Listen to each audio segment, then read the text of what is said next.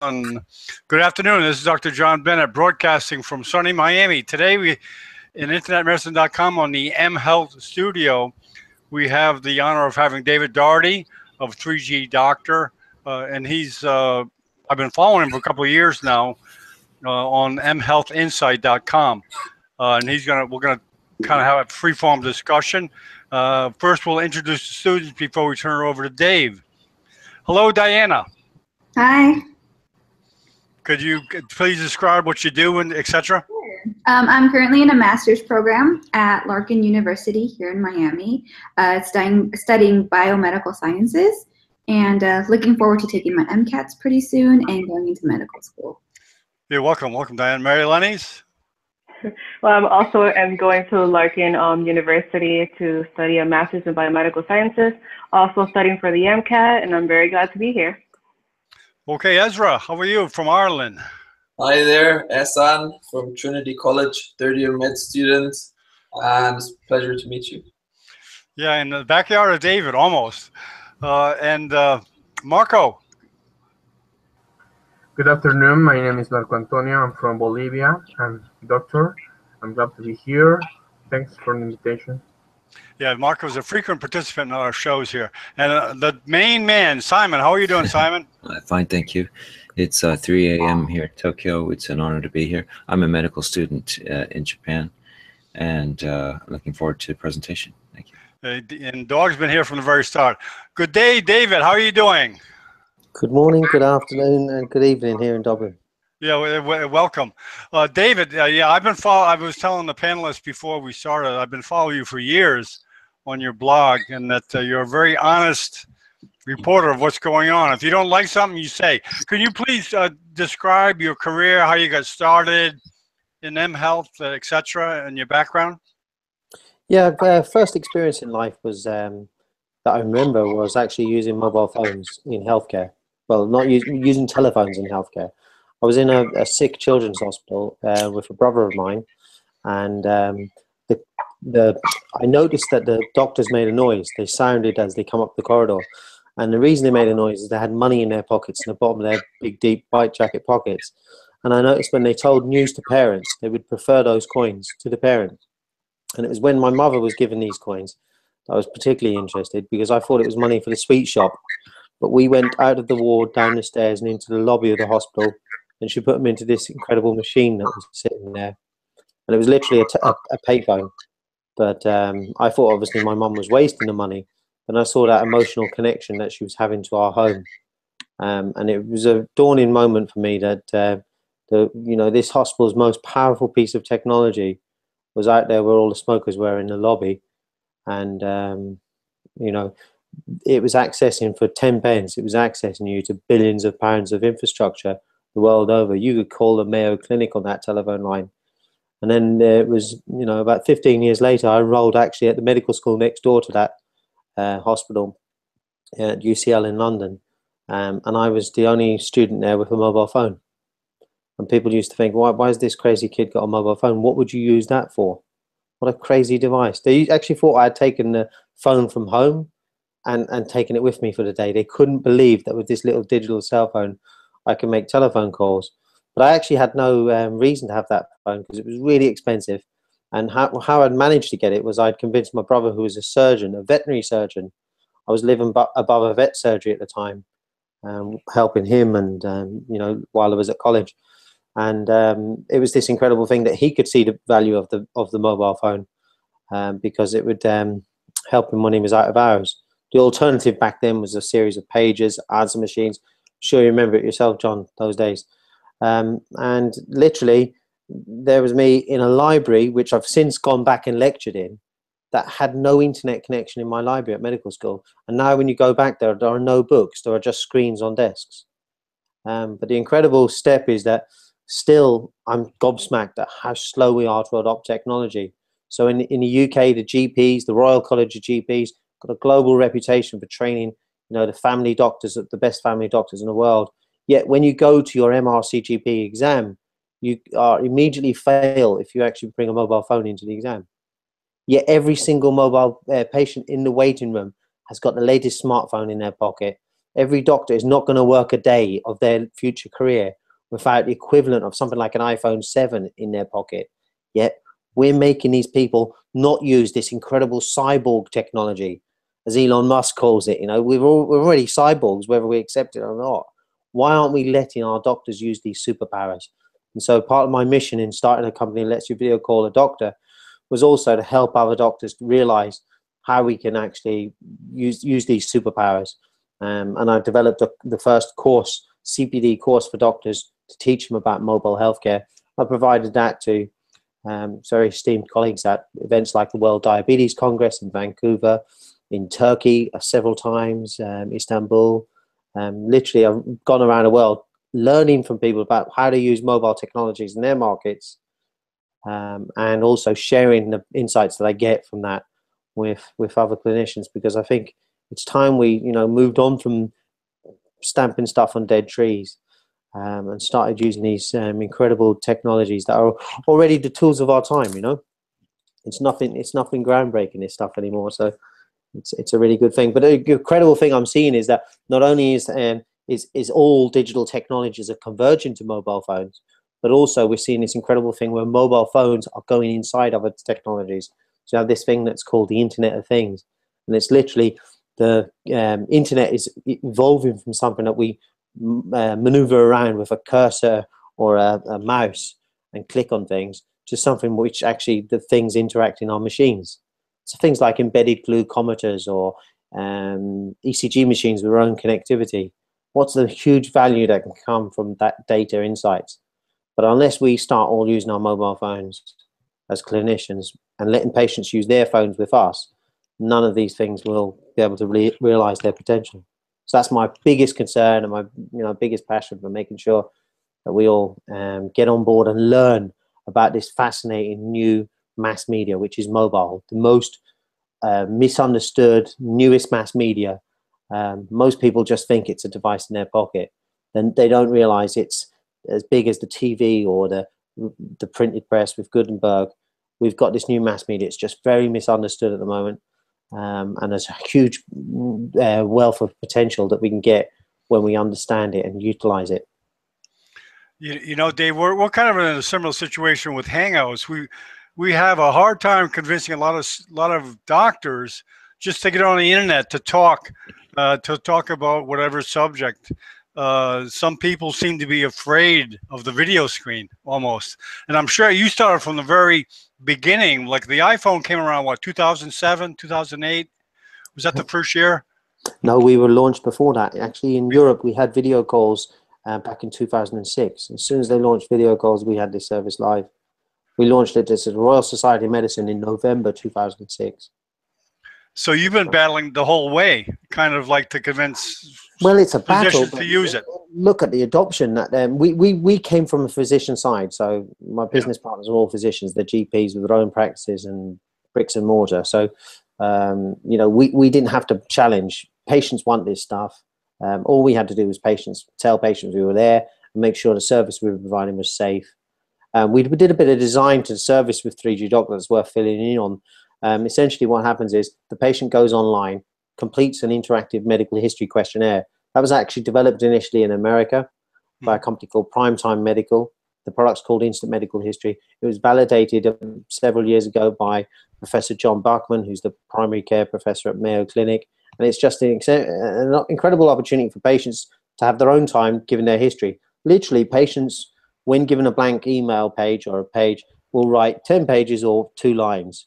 You know the things that are relevant aren't always uh, patients aren't always aware what they are but it also gives them time to consolidate their thoughts and share things like how they feel. Things like depression scalings and stuff that you'd be familiar with consultant psychiatrists using. Patients can actually fill this stuff in themselves. And i see doctors complaining all the time that patients waste their time.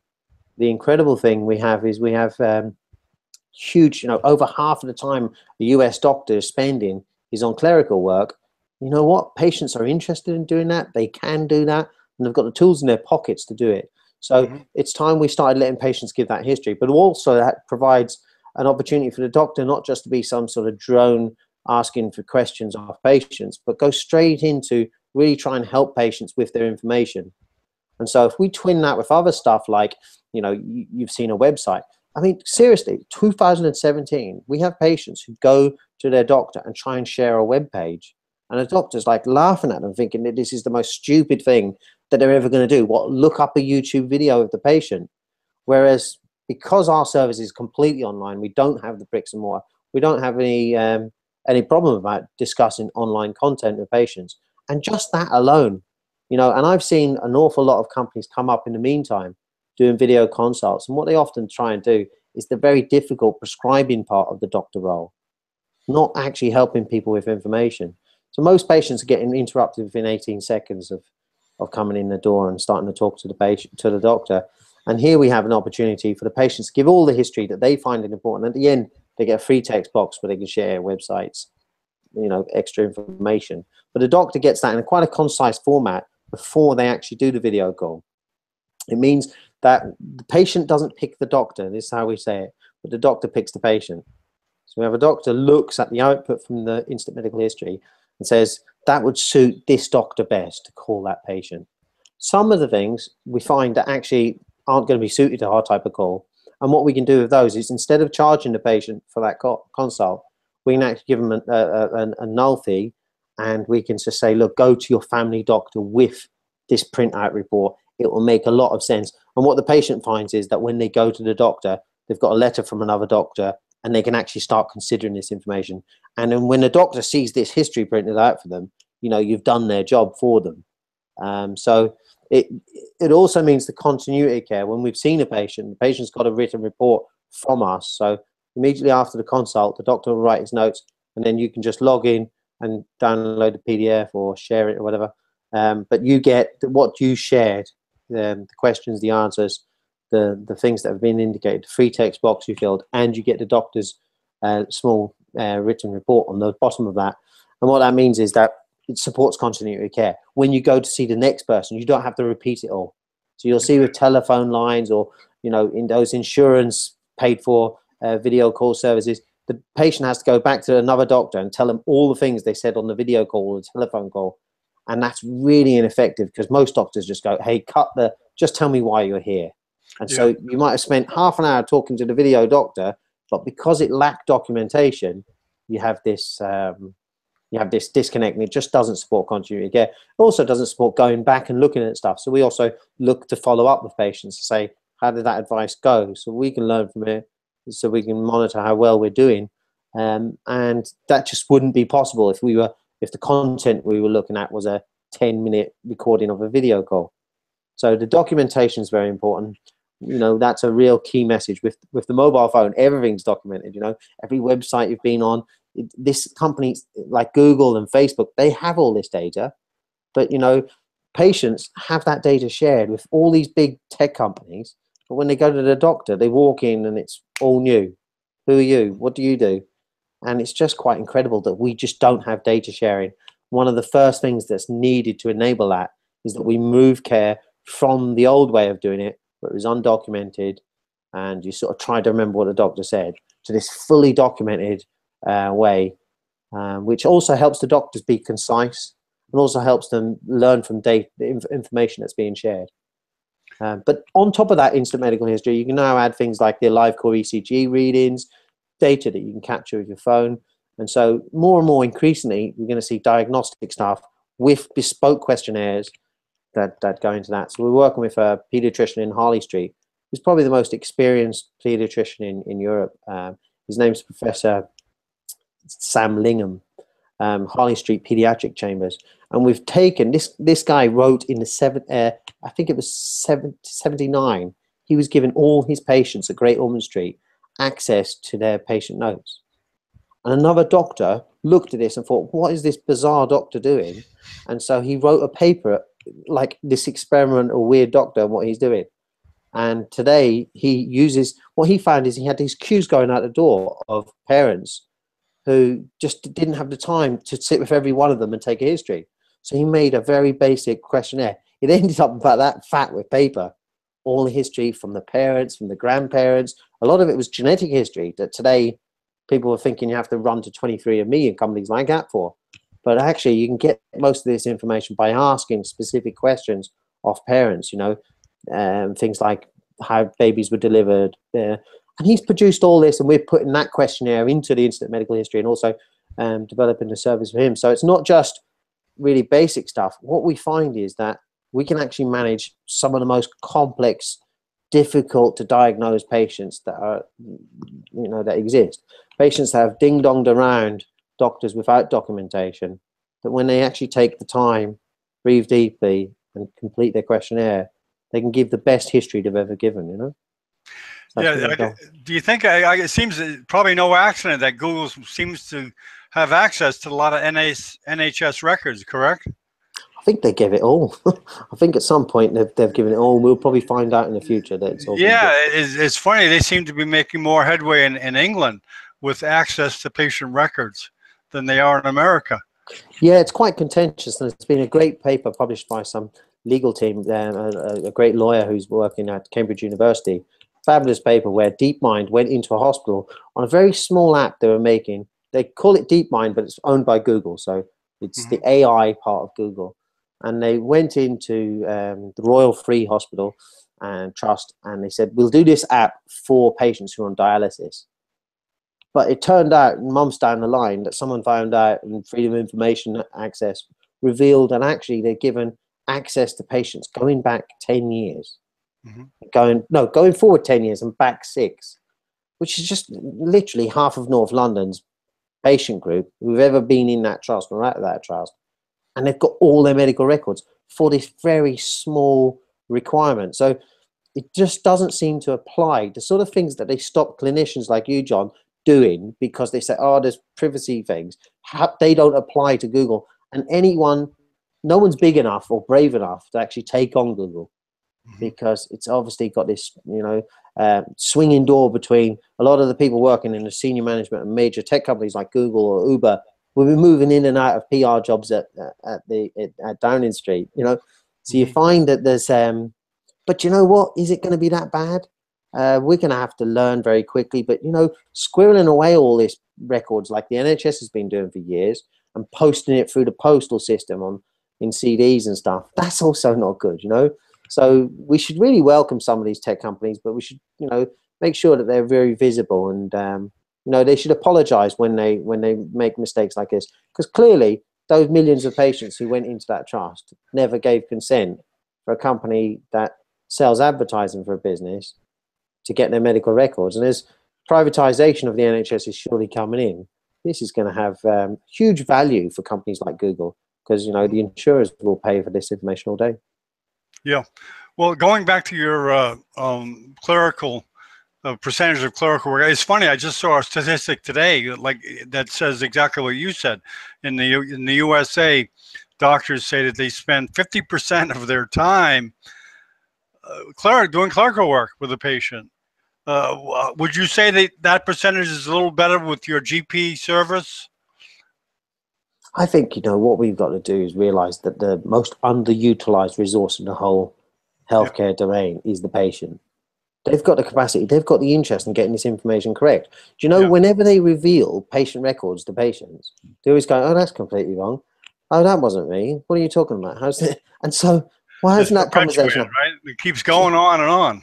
Yeah, and it just a lot of this is building on. Oh, I thought you were a patient who had dialysis. No, that's not me. That's you know how did that get my record? Uh, so first of all, we've can you imagine if people's bank accounts were run in such a way that only the bank manager could have a look at your at what was going on? Your we'd be all out of pocket. We'd be broke on the road. You know. So yeah, we've we've just got to move beyond this. And there's been some really good pioneers in this. In the UK, there's a fabulous guy called Dr. Amir Hannan everyone should follow this guy and support him because he's just been groundbreaking. He took over a surgery that had been previously run by Dr. Harold Shipman. Um, this is the doctor who got struck off. Um, he was um, convicted of killing a lot of his patients. And he really got away with it because they didn't have visibility of the health records. So he was killing a lot of elderly patients. The children couldn't see really what was going on, what medications were being prescribed. And so when he went into that practice as a new GP, taking over obviously there was this huge lack of trust with the doctor who had obviously killed lots of people um, and he came in and literally opened up the medical records these are yours Mhm. and i think it's when you get really harrowing situations like that that things like this just stop. You can't keep going on the way you have. But actually, the way he's been practicing, he also used instant medical history with his patients. Because when you find patients can see medical records, immediately they want to talk, they have questions. And immediately, as a smart doctor, you can provide more value because mm-hmm. you, you can see all the stuff that was done before and you can see why the patient's got these concerns. And literally, our job has got to evolve into more guiding patients towards better information. It's no longer good enough just to complain that patients are looking up the wrong things on the internet. This is our opportunity to be like the librarian and post them, signpost them to the to the good resources.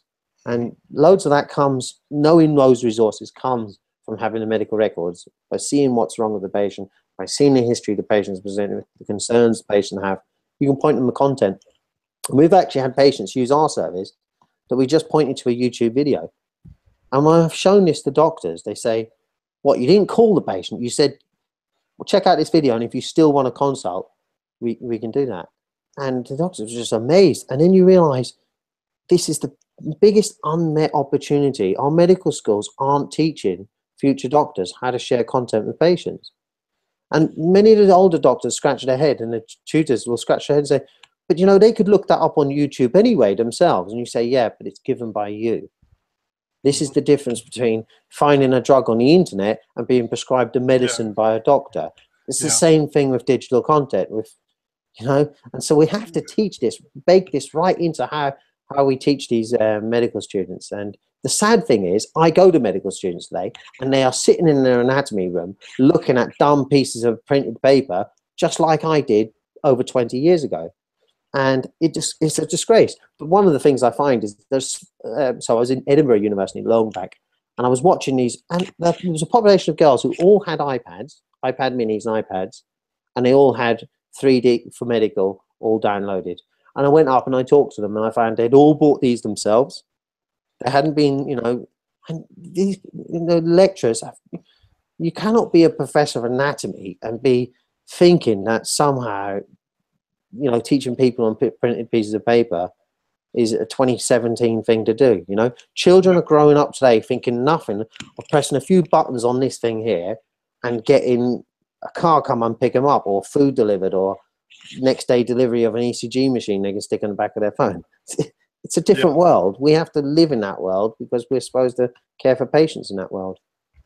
So generally, medicine is kind of slow in acceptance of the digital world. You think you feel?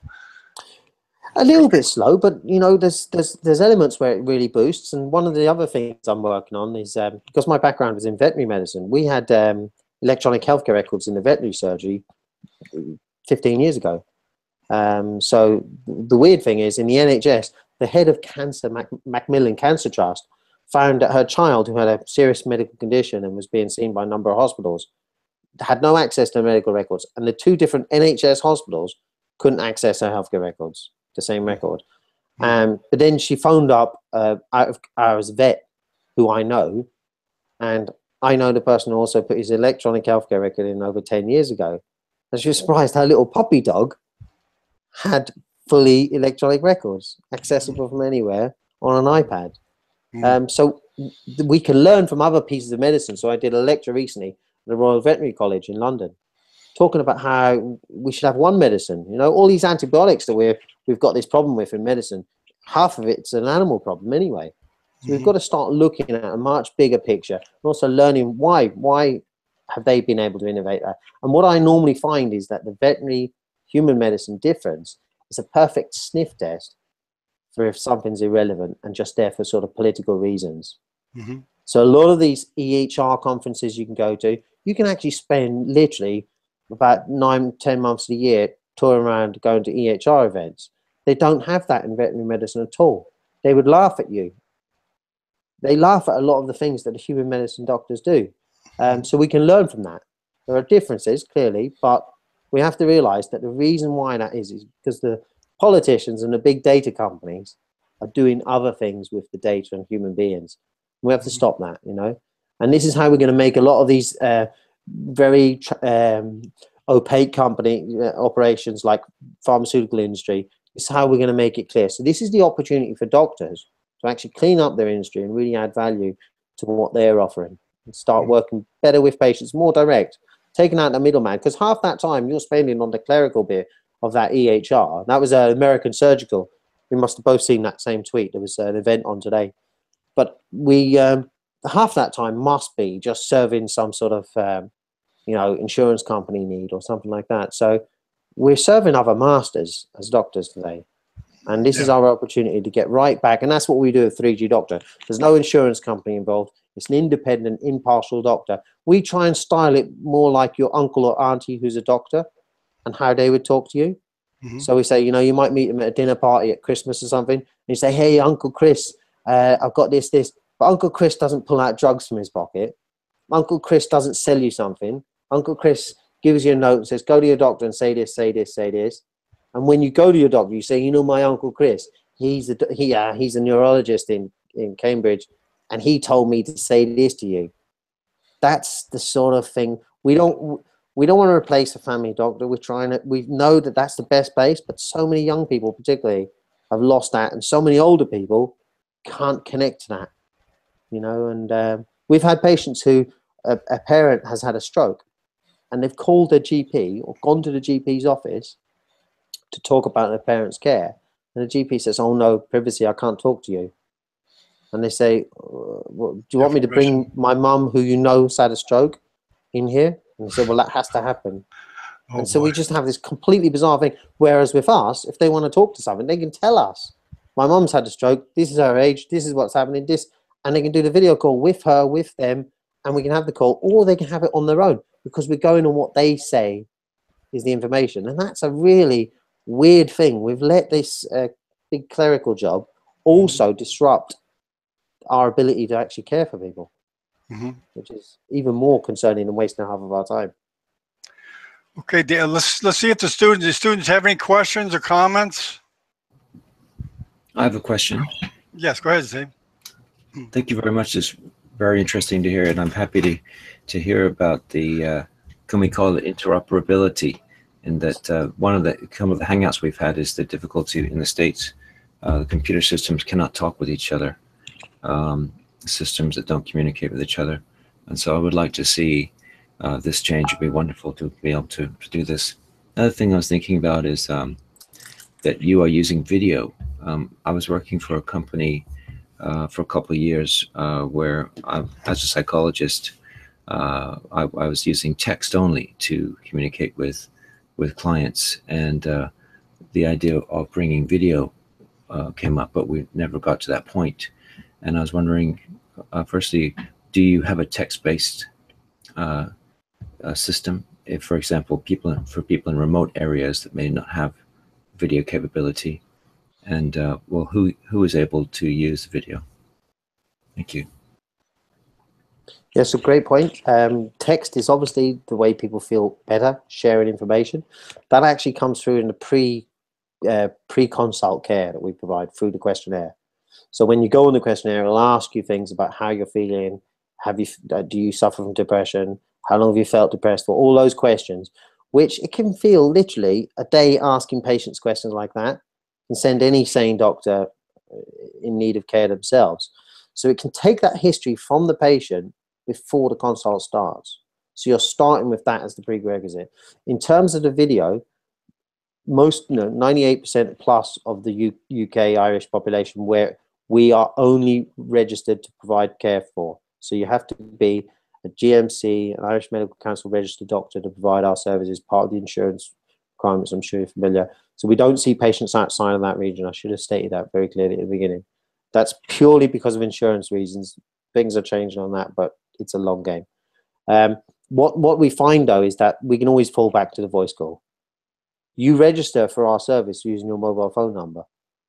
So we have your your mobile number. So we text you before we call, and we call you on your number.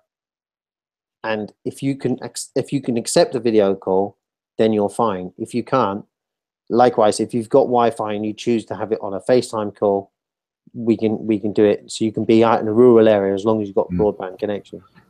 This wonderful. I mean, if I could just throw in one more thing. I mean. I live in Tokyo, and uh, we have something come out uh, last year called Pocket Doctor, and that's a video-based uh, similar system. I, I think I'm, if I'm catching you right. But what we're finding is that the uh, younger people are they're onto it, but people who are maybe even into their well 40s, 50s are a little bit behind in the technology. How can we train them to be ready to use this and to accept it? Uh, in Japan, they're very afraid of, of privacy. They maybe how they look on the phone, perhaps even. Uh, how do you prepare the um, the patients for the experience? Yeah, like I say, innovation happens very differently in different countries, and we've had in Mhm. Japan an incredible thing where, um, you know, eight, this is five-year-old data, but eighty percent plus of senior OAPs, old age pensioners in Japan today use the mobile data services. So they just think of it as you know they'll play KartRider with their kids. It's like the Koreans, Okay. um, but in some of these markets, it's completely illegal. Mhm, So mhm. when you when you sit there going, why are Samsung and LG completely missing out on the innovation that Mm. Apple are doing with ResearchKit and some of the you know HealthKit Yeah. stuff? It's because it's literally illegal in their country. So when they come I see. over and they see people doing it here, they go, we, we could do that as like a research project in a hospital. Well, we, we couldn't do that with real people. Um, Mm. And so there, this looks really experimental because of their mindset, because of, like you say, the Right. legislation, privacy and stuff. So it's a restriction. I once saw LG's big rollout of a telemedicine project, Mhm. and they had 50 inch. They showed me all the data on this. They said, "Can you help us make sense of some of this stuff?" And they had 50 inch screens on the walls of the people's homes, and they let Yeah, them video call the go, there you GP who was around the corner. And I was like, Yeah, "Okay, what healthcare content did you put on the screen?" And they were like, "Oh, we didn't put any content on." And I was like, "Well, what were they going to discuss?" And so it's that disconnect. Mhm. You know, if you don't have content to discuss with the person remotely, if you don't have access to your medical records, none of this really starts being valuable. Mm. Um, you might as well just walk, and they've got a very high uh, GP per head of population, so it's actually quite easy to go around and see the GP you know. But um, you know, sometimes your GP isn't accessible. Sometimes you're not registered with a GP. Mm. Sometimes you're bedbound and you can't get to the GP. So that's where. But every country seems to have its own unique little reasons why this Mm. hasn't taken off. But Korea, I mean, the powerhouse for all these devices. Japan, powerhouse, they've got this legislation which has stopped it. In Russia, they've just recently done a telemedicine bill, and it's for the first time become legal. And I'm over there next week trying to get some findings to find out how we can learn from that. What other countries? But literally, Japan's really good because you've prioritized the the, you know, the responsibility society has to seniors. Mhm. Some reason, this disconnect has happened. Um, but yeah, we have to we have to learn from every and bring Mm, it back and say. So one of the things we're seeing in uh, so I, I've written a blog post about how to teach your senior to use text messaging Mhm. because we don't have that thing in Japan. In Japan, you can go in a, a phone shop and there's a 70 year old there working, and his job is a sort of and you nod, but the rest of the people, when I tell that to doctors in the UK and Ireland, they're like, "What?" They're like Mm. spotty young people in phone shops, Yeah. um, and it's that completely different uh, thing. But we can learn from them, and they can learn from us, and that's really where I've taken it a lot with the mHealth Insight blog and with the LinkedIn mHealth group. You know, there's eight thousand members on there. There's loads from Japan. Um, but yeah, I go into I, I, I see the companies entered Como, um, and I see the stuff they're doing, and it just baffles me Yeah. because they just you. come from a completely different perspective. Well, But they've done you. cool things. They've done cool things. They've done some. Mm, Um, but you would think with Samsung. Hospital, with Samsung Mhm. Hospital, Samsung should be able to have a healthcare platform, but they've Mm. just completely um, missed it. You know, we've had a really hard time getting doctors on to do hangouts, Dave. Uh, we haven't had one. We've, we've tried to get Japanese neurosurgeons, Korean doctors, but so far no success. It, it'll take time, I think, in those countries. And, and you, Simon, you say it's because the culturally, they ju- uh, the the Oriental people don't like to get in front of the camera. Um, it's that, and also yeah, privacy issues. They're very afraid. Uh, Skype, they're afraid. uh, You can't. I can't get doctors on Skype, or even individuals. Uh, they feel very worried about the privacy issues in Japan. It's a very Okay. huge thing, but it is changing. It is changing. So I expect we're going to be seeing acceptance and there's there's new laws. Uh, there was a law a few years ago passed uh, for remote care. People in the country will be able to communicate. And with a company called Curely, um, uh, we were trying to make uh, some headwind, but it just didn't ta- didn't take. It just wasn't ready. But uh, it's going to happen. So I'm looking Okay. forward to that. Very good. Diana or Ezras, do you have any questions or comments? Yeah, I do. Um, first of all, David, thank you so much. I love the talk. I love you. It's a great uh, field that you're interested in. I love it too. Um, I've got three questions. If you can answer them quickly, um, that'll be fine. Or sh- in, in short, really. Um, so, first question is: so you you mentioned a really interesting point uh, that the patients don't pick the doctors on your platform how do the doctors uh, choose what patients they can uh, you know um, offer consultations to on your platform Uh, so that that's done on an individual basis. What we find is triage is done by healthcare organisations today with the least experienced person trying to do it. So when you ring up the NHS's 111 service, they literally have a school leaver who's reading a script off a screen. And actually, that's where you should have your most experience. So it's a completely counterintuitive thing. But if you gave a medical history to someone like John, he could look at it in seconds and say, that's what we need to do with that patient. That's the type of doctor that would bear up. First priority we've got is which doctor we've got available for the patient. You know, we, ha- we have to be realistic about who, who's going to make the call. But the second thing is you get a very good feel for it. You know, some people you want to talk about something emotional. Who's your doctor who's really good at emotions? Um, you've got someone who's got an immediate thing they need to do, who's the best at internet research? Who's the best? The skills that doctors have and that's what we look for um, when we're recruiting. It's trying to develop those skills in doctors, but also find ones who've got a natural interest.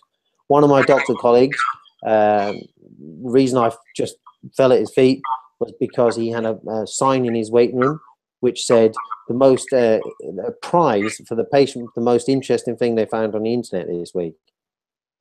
Right, and that was just like right. You are the type of doctor who needs to be doing this service. So if a patient then found some big protracted argument on Mumsnet, a website about you know where they might discuss issues affecting young mums, that doctor would be just the ideal one to chuck in on that because there's all these opinions. There's all these. Does this work? Does this work? What about this nutrition? Probiotics are they a buzzy thing or are they real? I don't know. But put savvy doctors who've been around a while and heard all the sales pitches, um, and then get to the bottom of this stuff really quickly and help patients ex- explain that.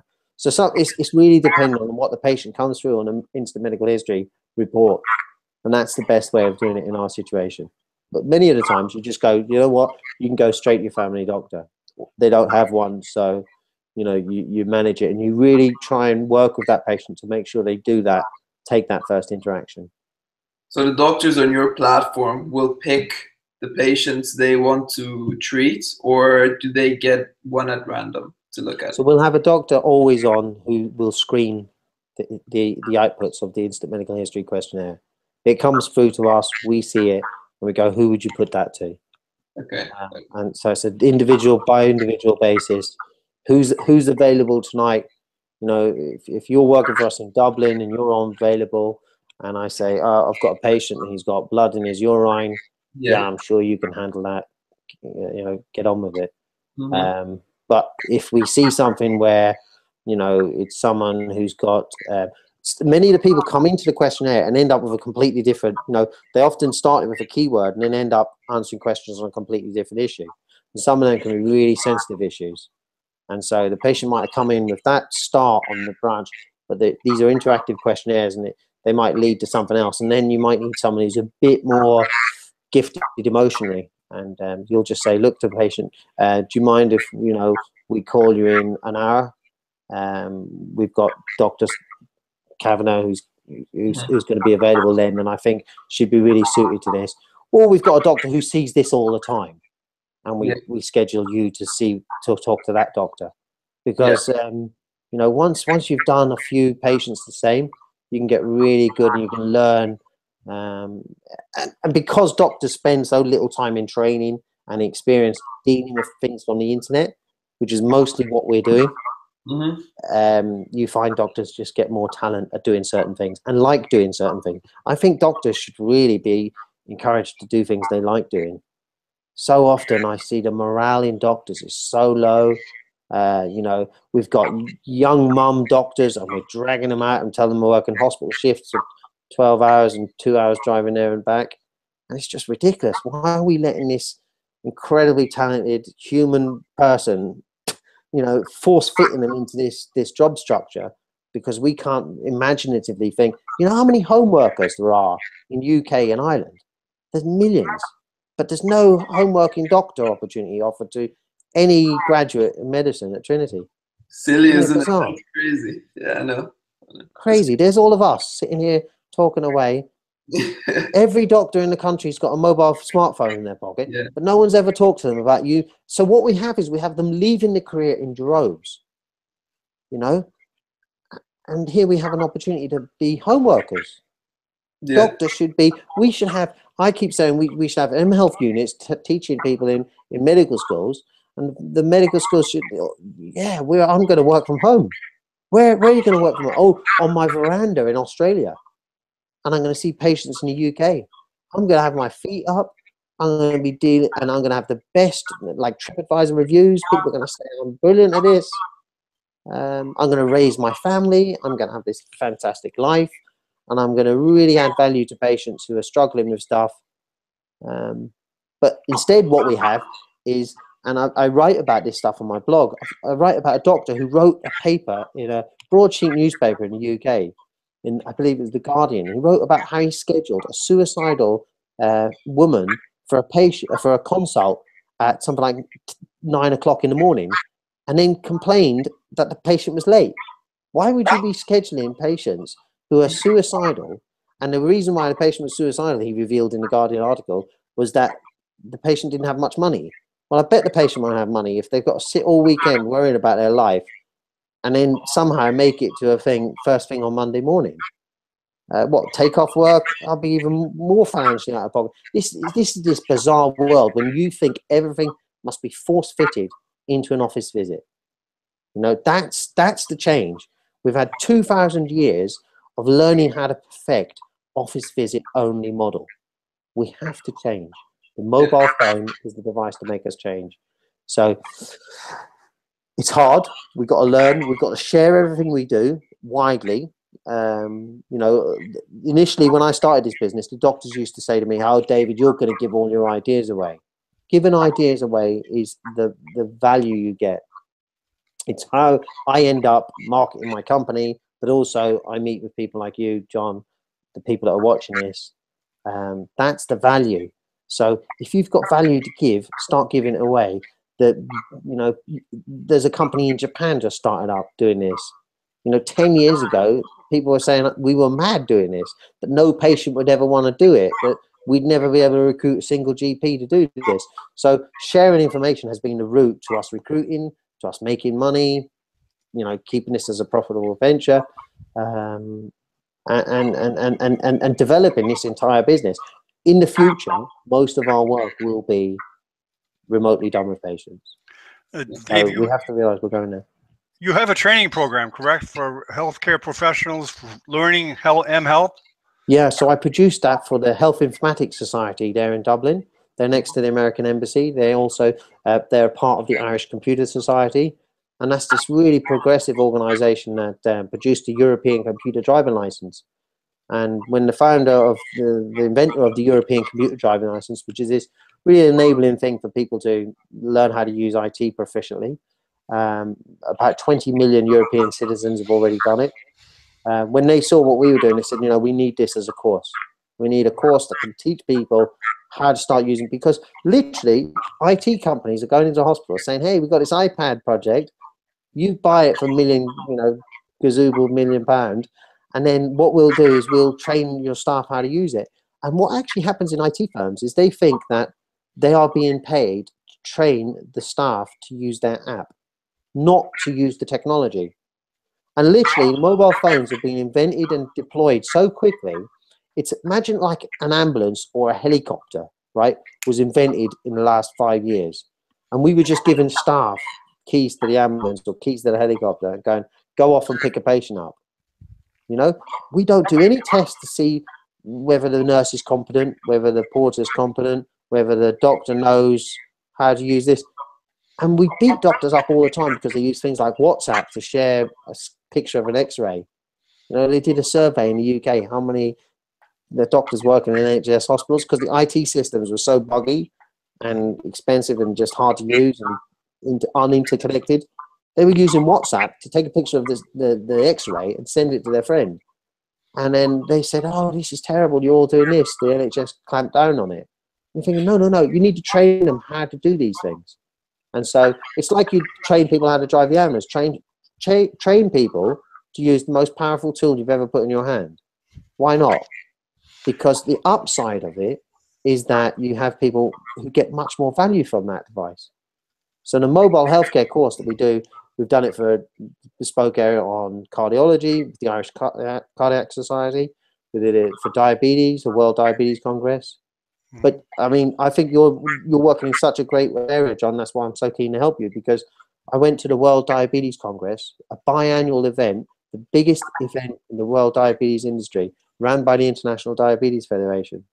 And they flew patients from all over the world to come this on bursaries. And when the patients got there and started tweeting pictures that were taken of the slides, they were told off by the organizers. Incredible, huh? Imagine what an insult. You've flown from Brisbane to Vancouver. You're trying to help all the other diabetic patients. And you're like, wow, what are they doing? You know, they're insulting me for doing this. You're getting a slap in the face for doing that. And so what we have here is this, um, you know, this opportunity to tell people to share. Um, and we have to enable these people. So the only hour of content at that entire World Diabetes Congress was the hour that I recorded and put on YouTube. I just find that amazing. Has no one got anything in diabetes they want to share with people?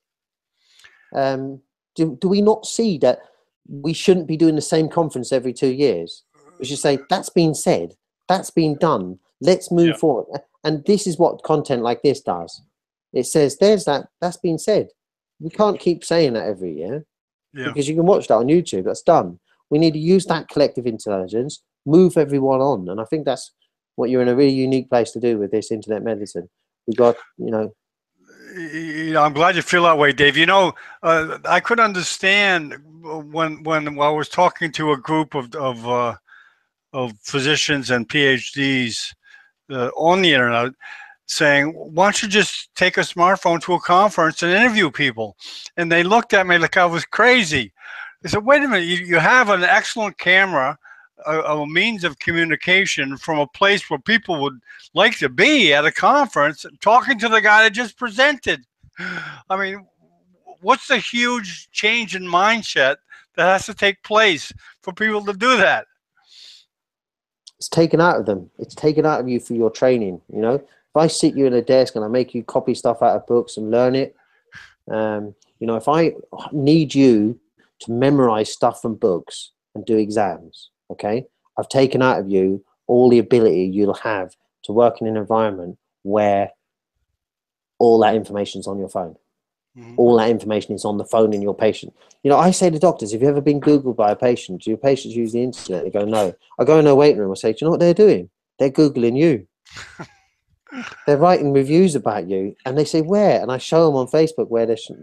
But some of it is ego. So when you work with, we, we did a really cool project. Uh, it was called Harley Street TV Mhm. about eight years ago. And it was this really bizarre thing that we found. The way to get doctors interested in this was to say that uh, this is really senior. This is the most successful people in, in European medicine. We'd say to them, what happens when I Google your name? And we'd show them. And when you Google their name, often it was like a clinic around the corner that was competing with him.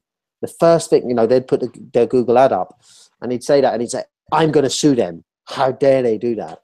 And then we'd look down, we'd get page two or something, and it was all just rubbish stuff about him, where he's based, old hospitals he worked at, and all that.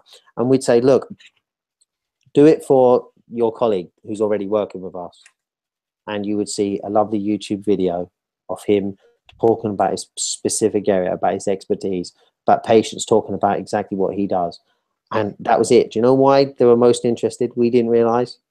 We found that what they were most interested in that for was not the business it would create or how it would do with their peers and stuff like that. It was that they found that their children, when they went to school or went round to friends' houses, they all asked, What does your dad do? And then they would Google them and they would be sitting around their friends, and their friends would say, uh, "Dad, you, there's this thing about you, and it's all rubbish," you know. And it was this ego thing where they wanted to be proud of how they look on the internet. So some of it, you have to say. I, if I was you, John, I'd just be saying, "What's your internet? Look, here's here's here's your top ten on Google." When I look at you, you go on internet medicine and do an interview with me. That's going to be the first thing. Plus, you can put that link on your Twitter account, and you're good to go. You know, how could they say no to that? Mhm. when you show them, hey, look how bad you look. I find sometimes you've got to play the, people's ego to make them want to do it. But with the young ones, we need to go and train them. It's all about training. Mhm. Um, Well, I think the, stu- the students could probably answer this one. I mean, uh, I wish I was a student again, but you must get uh, from day one digital information, how to do things digitally. Is that correct? Uh, uh, you guys? Well, go- first of all, you guys grew up with, you know, it's a little different with me, uh, Dave. I didn't grow up with computers, but all you guys grew up with computers, and you're very, very adept at Facebook, et cetera, et cetera. Was it an easy transition for all you students to kind of get into the digitalization of medicine? the digital um, really i mean for me like once you start um, getting into the internet young such as like i started through um, youtube and facebook.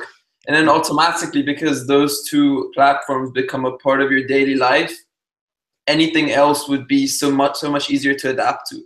Whereas i feel the older people when they come in they they don't come in bound to the internet. They're not bound by facebook or etc so they're just like basically lost. They don't have their own little home on the internet. Whereas like we've already have our own niche um, where we constantly have visited you know click the notification button every day. And the internet sort of becomes home for you you know it becomes second nature and everything else is easier to learn. Mm-hmm.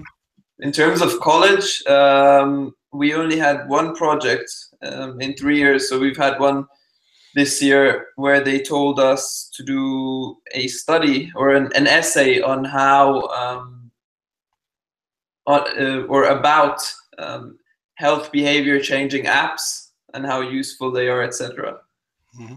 um, which i did uh, about some chinese app which measures everything so you uh, it's called eye care health Mhm. you put it by one finger behind the camera and one finger in front it measures your blood pressure your blood lipids um, gives you um, your heart rate um, all Pulse these ox. yeah your your sats your cell your oxygen saturation and all of that. And then you can like you can self monitor so you, it provides uh, it puts it into a graph and you can monitor over time. Um, and then it gives you little ways on how to improve on each of them. And it tells you if your your results are normal or not. Mhm. but then when you come to use the coins which you get for measuring the shops in chinese so you can't really use the coins or anything Oh, okay. but, Very but that's it. one essay Okay, D- Diane, you're being quiet today. You don't have to. You don't have to say anything. But uh, do you have any comments or questions for uh, David? Oh, well, I just wanted to say a little bit about the topic that you just mentioned. Um, it's a little bit difficult kind of growing up in the, the internet world and having Google right there. You always want to Google search anything for a project or before you start actually finding resources or journals to reference, right, for any kind of paper. And it's difficult growing up in that and then trying to go to school and everything is like out of this book or out of this really old textbook or having to just search and get all your information from there as opposed to utilizing the new tech and the new apps that we have available in medicine. So I kind of feel like education is definitely a little bit behind in that sense where they're trying to teach us the old way, but we were we're learning in a totally different So environment. that's that still occurs, huh? yeah. Oh, Well, well, I John, would think that's really still good going. one. Through, through the network that I've got, I get really bizarre things like students who are on the iPad project uh, using iPads. So some of the medical schools in the US have just completely thrown out the books, put all printed content on the Right. iPad. You see, And these students have written to me saying, "Hey, David, I really like your blog," um, and I've said, "Hey, can you give me your app to download. And they said, yeah, yeah, here's my password and everything. Log in, just don't write anything as me. And so I get to see what these students are doing. And when I show this to a student over here, they're like, that's like man from the future. How come he's got all that stuff in, in the iPad? That makes it so easy. And the reality is, it has. And I, I wrote a blog all about this. Basically, it was UC Irvine, right? They Right. published a paper that showed if you were one of the students that was given the iPad that year, you scored 26% higher. Yeah.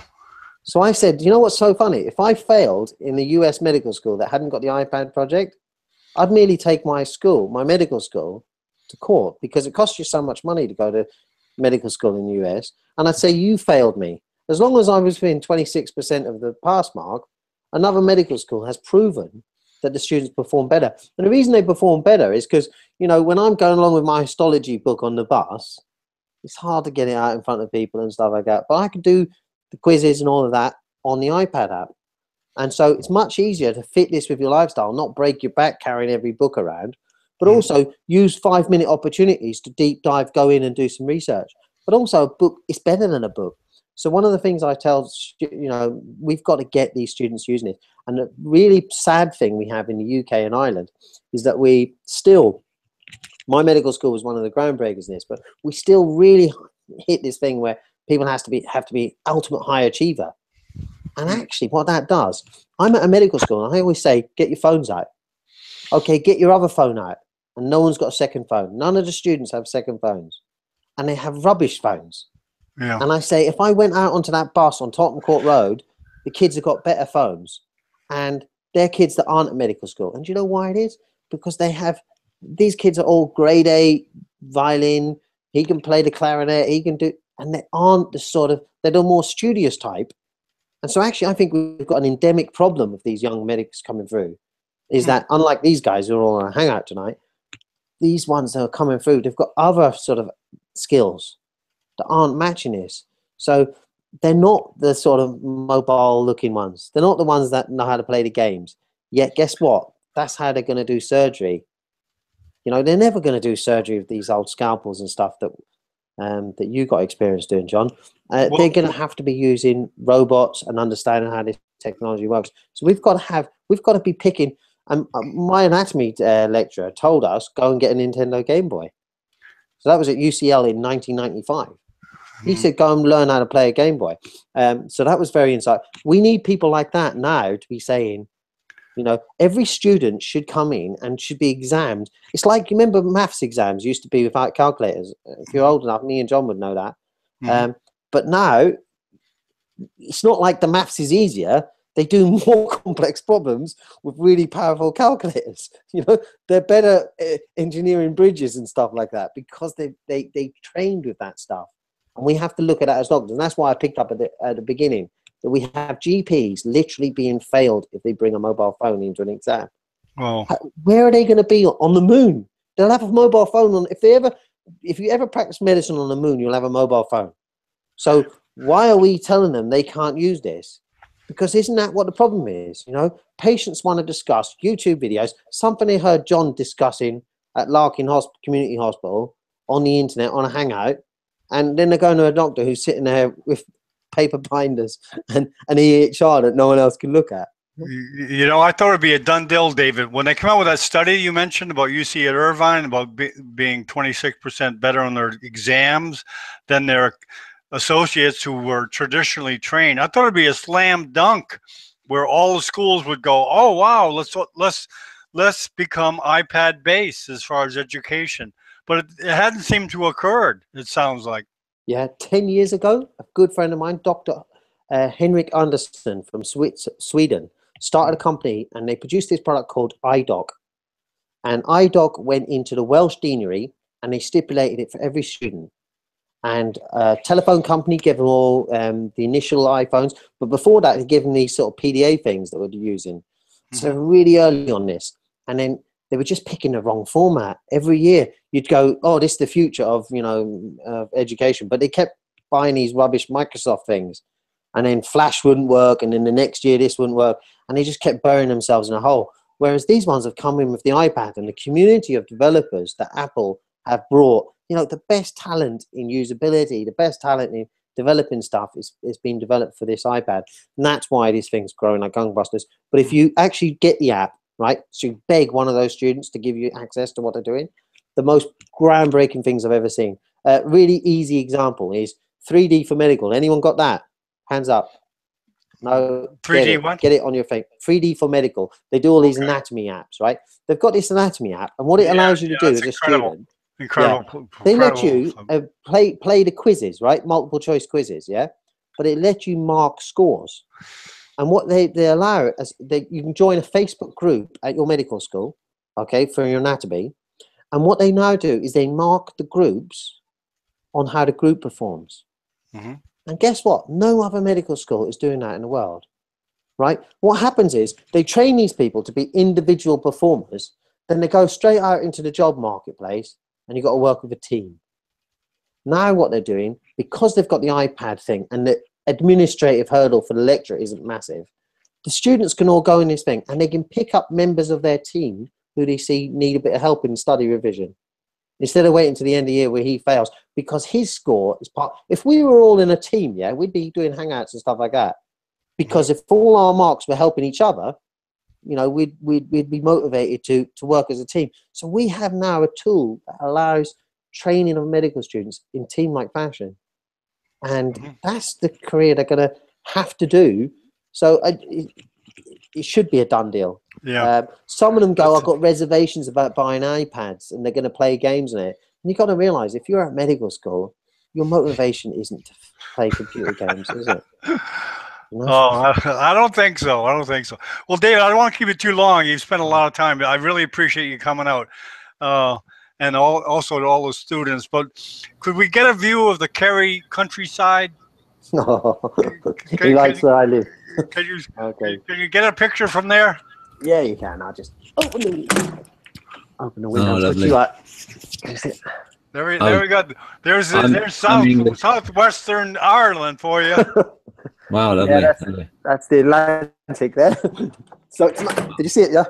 Yeah, it's one in beautiful, beautiful. Did you see the horses and the? So That's it's, beautiful.